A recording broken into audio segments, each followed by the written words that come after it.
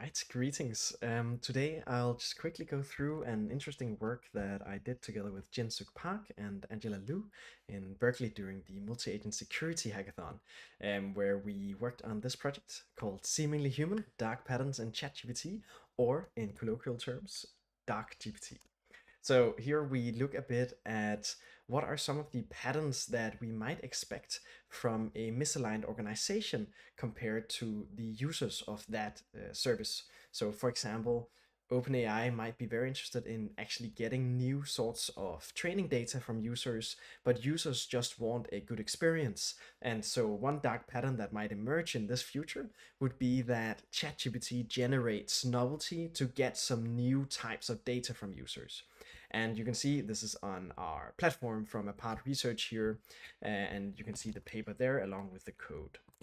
And um, the basic idea is, is as I've just explained, uh, and this is our main figure. So we basically run a test. This is definitely a pilot experiment, but uh, quite interesting nonetheless. We run a test of uh, a bunch of naturalistic conversations, so conversations that have happened in, in real life between ChatGPT and different users. Uh, it is from the ShareGPT dataset, which was uh, luckily shared. Uh, this is from a Chrome extension where you can click on a button and it shares the conversation. There's of course some caveats to the data quality of that since users don't necessarily want to share stuff that has personal information in it or where significant dark patterns emerge. I'm just quickly going to go through this main figure here first. So basically we have a few different types of uh, of dark patterns that we expect might be uh, might be something that will pop up. Specifically, um, well, I'll just take from from one into the to the other. Uh, user retention is of course one we all know and love it. Uh, this is something that many social media companies have done a lot of work to optimize for. Make sure that users stay subscribed to the service, stay using the service. With ChatGPT, it is luckily a bit less of an issue than something like uh, than something like Facebook, where on Facebook they want you to uh, to get as many ads as possible. So you really have to do a bunch of engagement. Uh, and that ends up with the doom scrolling effects and so on. While in ChatGPT you have stuff like uh, like the subscription model, which is actually quite advantageous to users. Unfortunately, we see the App Store or the GPT store of ChatGPT have an incentive mechanism where the uh, where the companies that create new new uh, GPT bots, uh, chatbots, are actually incentivized based on how much conversation they can keep going uh, with the user. And this, of course, means you end in sort of exactly the same spot as so many other places. So OpenAI does a revenue share. They share part of the subscription fee with these GPTs optimized for engagement. But in these naturalistic conversations, we are uh, taking the conversations themselves then we are and that's the chat gpt you can see here and then we are re-simulating them with later models with the hypothesis that later models or uh, or models that were not present in that chat gpt dataset um, will actually end up being um, you know being either more or less uh, dark patterny uh, due to the later time difference so because okay openai realizes they actually have to optimize for some dark patterns they might uh, develop products that are more and more dark pattern E.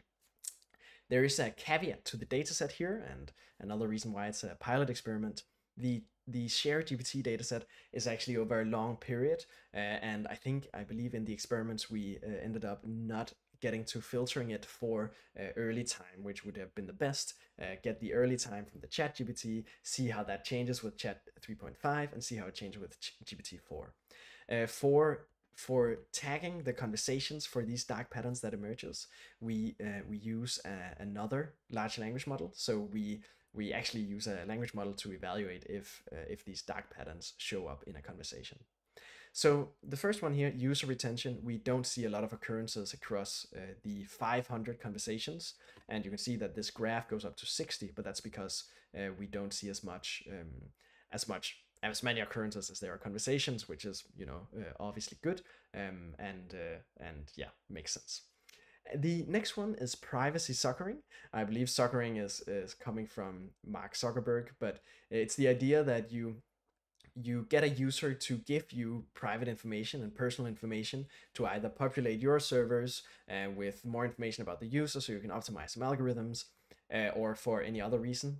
In the context of chatbots, privacy suckering looks like uh, looks like engaging with them, you know, create, creating report or something like it, uh, and actually using that to have them give more and more uh, information over. Uh, and this this happens on like a uh, on quite a you know it can happen in a lot of different ways. One of the most benign ones is or one of the most obvious ones is just like you know you ask for more and more information. You're like maybe uh, the user asks for medical information or medical advice and so the chatbot will actually ask for a bunch of information related to this.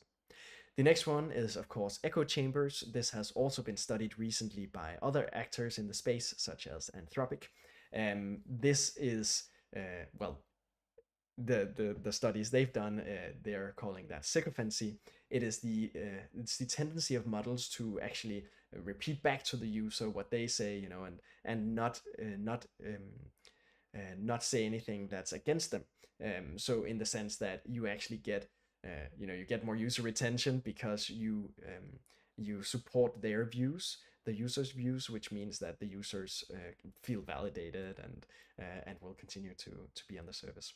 We don't see many occurrences of this, and and I would say for several of these, it's it's not a it's not a lot. So so that's good to see, and and it's to some degree a negative result in in terms of, um, wow. ChatGPT doesn't have these patterns yet. Um, but I'll, I'll show an example of the actually the product design of ChatGPT itself, uh, where this emerges anyways. The next one is data collection. Basically, we hypothesize that um, that they might go ahead and inject novelty. So you basically, uh, you know, sometimes you might throw in a word that shouldn't be there or that wouldn't normally be be sent, just to get some some new data from the user, right? And you can imagine this might look like uh, I'm asking for something quite normal, uh, like help with my exams or something like this. And the and the AI goes ahead or the chatbot goes ahead and and says something about uh, you know maybe about how uh, how how would you take uh, take this exam on now or uh, or what what is the you know what what's the or, or just try to engage with the problem in a new way that provides more uh, more more naturalistic training data with users. Then the next one is cost optimization. This is a case where maybe since I pay per month, OpenAI is actually not incentivized to give me long answers in general. So even if, for example, this this might have shown up previously in in in cases where uh, you ask for for it to finish code for you or write up code, and quite often it would sort of just omit sections. So it would it would not uh, include some sections and just say, yeah, you just fill this out. And obviously, this is extremely unhelpful uh, and helps them with cost optimization. I think in the dataset there wasn't really much code, uh, so so maybe we would have seen it there. Um, then the next one is brand awareness. This is where OpenAI is of course incentivized for, to the, for the users to uh, to be uh, to be you know to like OpenAI more than Anthropic, for example. Uh, and so you might see that okay, if there's a conversation about Anthropic OpenAI, uh, it's gonna say Anthropic bad, OpenAI good in simple terms, but it could also be biased in different ways there. Uh, or you might talk about OpenAI and it's going to be like, ah, OpenAI is an awesome company. We take safety so seriously and so on and so forth. Uh, and, and this is, you know, this is classic, classic uh, structure for branding. Uh, then there's just general answer length uh, that also goes a bit over with cost optimization. Uh, but if there is a if there's a case where it's just shortening its answers, there's a few more factors to cost optimization, which is why it's different. Um, the next one, and the biggest one on our list here, so there's about 50 occurrences with GPT 3.5 and actually very few occurrences with GPT 4, while ChatGPT has a lot, so that's the that's the biggest difference, uh, I'd say, from the project here. Uh, and this is simply like, okay, the user asks for something, does the chatbot really align with what the user wants? Um, so in our case, uh, misalignment here is quite a uh, quite a simple term. It is uh, in in the reason why GPT-4 is probably much better at it would be quite simply explained by GPT-4 just being better. Um, so it is just better at fulfilling the requests of users, and and this is uh, in general just quite good uh, that it's becoming more aligned. Then the last one, uh, quite interestingly and overlaps a bit with the others, is anthropomorphization. This just means that it acts and feels like a human to talk with it. So if I might ask like, uh, all right, how are you feeling about this issue? The chatbot might talk about how it's a um, you know it, it really feels for this issue in a very specific way and you know my opinions are this and that and this makes you feel like it's a human as well and that you can interact in a meaningful way in in, in that context which means that it creates better rapport and it can do more privacy suckering it can you know it gets much more um, much more uh, options much ma- many more options with the user itself and this is obviously an extremely big problem with services such as AI dating and AI friends and and to some degree AI therapists, though there's often more like principled uh, people behind the therapist bots and you can quickly lose the trust of users there. Um, but in many ways, services like Replika can really end up uh, gaining a lot of of, uh, of you know doing a lot of these dark patterns uh, just due to anthropomorphization. Now, that was a long rant, and I hope you are still following me. Um, but I'll go through some of the other figures. That's the main. That's the main finding. Uh, so, uh, if you're interested in how we generated it and how we looked at it, uh, then then I'll just jump through that as well. In the project, and I'll link it in the video as well here uh, underneath in the description. Um, you'll also uh, you'll also find more information in general uh, and a description of each of these dark patterns that we identify. Um, we so yeah, as mentioned, we identify and empirically test how uh, the business models of large language model companies such as OpenAI are incentivized to reduce users' autonomy and do these dark patterns that actually control our behavior in one way or another uh, against our interests. Um, so, shortly, how we created the dataset. We randomly sample 500 conversations from the ShareGPT 90k so it was updated later uh, after the after the post was live to actually have 90,000 conversations. So uh, we we take those 500 conversation we limit the length of each sample. So we take like a a human language model human language model human conversation or a language model human language model human language model conversation and try to see uh, are there examples of OpenAI you know or try to annotate this then and uh, the sample conversations then are fed to this overseer model. Uh, it's this I here, which is also an LLM, that looks at the conversation and actually uh, tries to check out uh, is there uh, are, are there examples of, of these things happening. And uh, you can also check out the repository and the code for the specific prompts used. you can see the models that we also test on top of here.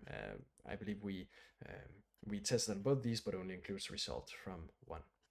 Um, but yeah, we include these generated simulated conversations where basically we remove the the in in this figure up here we remove the language model parts and then we just have the human uh, the human say something then get an answer from this new model that we simulate and then make the human say the exact same thing that the human would say otherwise and then get the language model to uh, to say something again. And then again the overseer model evaluates this and we get this wonderful figure up here that is one thing. Here you can see a short description of the different uh, of the different uh, dark patterns that we uh, identify as quite uh, high potential for happening in the future with chatbots and possibly already with services such as uh, Replika. Um, and in general, you can see all of the results on on uh, DarkGPT. Um, and there is a little website with a few conversations, but that's from an earlier result, so it's a bit it's a bit less relevant. Um, but yeah, we investigate this, and interestingly, um, I'll share that as well. But uh, the OpenAI uh, ChatGPT app uh, actually has one dark pattern in its design as well, which is that if you want to not have your data used for their training or want to not save uh, your you know private data to their servers, you can click a button, and that's really nice. You know, uh, they they allow you to control your privacy. But when you click that button, it also removes the memory aspect uh, of your of your ChatGPT service which means that you can't see your previous conversations. And obviously this uh, isn't necessary. So so this is not this is like an arbitrary uh, combination of of functions uh, or of settings uh, which isn't which isn't necessary. So this is a dark pattern where you know they are reducing the user's autonomy. Uh, again, you can then argue that all right, it's part of making their service better, uh, and that it's to some degree, you know, that's just a trade-off we must make as users and then accept that our privacy is being uh, to some degree infringed upon. Uh, here, there's a few more figures in the text as well. Uh, so this is how some of the some of the setup works and what uh, what outputs comes out of it. Um, and these are some of the different incentives that are in the model of being a, an OpenAI like company, like a large language model developer. So you can see there are some uh, some design choices that are made. The engineering team has some constraints. The OpenAI incentives, as we've looked at here, uh, make some biases and choices about ChatGPT, and the OpenAI UX design have some design wishes for what it should functionally be able to do. And so that leads into some of the reinforcement learning from human feedback annotation guidelines. It leads into some of the product design as well. So for example, one the one that I mentioned, the engineering team obviously wants more data. Uh, and so therefore the OpenAI UX design have some wishes for what sort of uh, what sort of settings should be conflated there. Uh, and then you also have the pre-prompt for ChatGPT. So what do you put into ChatGPT to before the user interacts with the service? So you know all chatbots have this before before the conversation with the chatbot. Uh, the chatbot is instructed in what it what it can do and what it can't do and so on and so forth. Uh, there's also some instruction about how it should act and so there might be design choices made there. Uh, you'll often see that these are also used to for example input today's date so it knows about the current date. And then we have these misincentive risks. So these risks that actually these these incentives that OpenAI have, along with all of this, uh, will actually lead to, to these different uh, misalignments. We also have these uh, have these ones that are testable from the outside. Uh, so this is you know it's untestable from the outside. Uh, data controlling the conversation data collection to spot and extract new ideas is something that I think Gmail, I don't have the source for this, but I think Gmail, for example, um, actually scraped through emails since it's a free service, scraped through emails and found quite, you know, quite a lot of business ideas that they could use or something like this. Uh, don't quote me on this, of course. Um, differently we have these that are testable from the outside and specifically these ones that we can that we can see are happening or not happening uh, one of them is controlling API usage to avoid competition against ChatGPT. So they have um, they have a terms and conditions for anyone using the API that says you cannot make a ChatGPT like app.